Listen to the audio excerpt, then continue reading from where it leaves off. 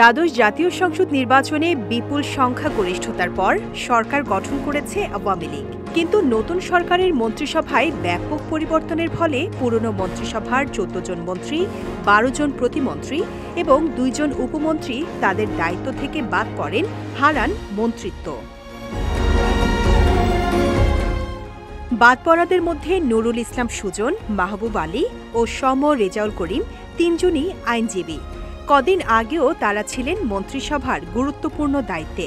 মন্ত্রিসভায় ঠাঁই না পাওয়ার পর এই প্রথম তাদের আদালতে দেখা গেল। সকালে সুপ্রিম কোর্ট আইনজীবী সমিতির চেম্বারে আড্ডায় মেতে ওঠেন সরকারের সদ্য সাবেক এই তিন মন্ত্রী। এ সময় তাদের সঙ্গে দেখা করতে আসেন সহকর্মী আইনজীবীরা। সাবেক রেলমন্ত্রী ও সুপ্রিম কোর্টের সিনিয়র আইনজীবী নুরুল ইসলাম সুজন এবারও পঞ্চগড় দুই সংসদ সদস্য নির্বাচিত হয়েছেন। এবার মন্ত্রী না থাকায় আইন পেশা পরিচালনায় বাধা নেই। তাই সকালেই চলে আসেন সুপ্রিম কোর্টের নিজ চেম্বারে।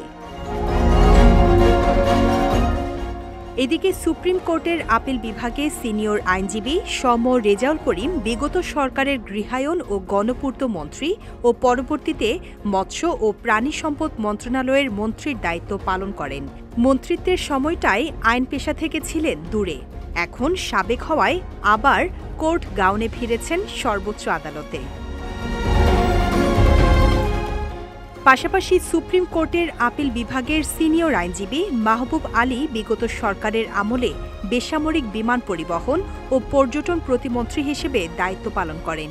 সর্বশেষ দ্বাদশ জাতীয় সংসদ নির্বাচনে বিজয়ী হতে পারেননি এই আইনজীবী। তিনিও ফিরে এলেন আইন পেশায়। Vijay TV, news desk.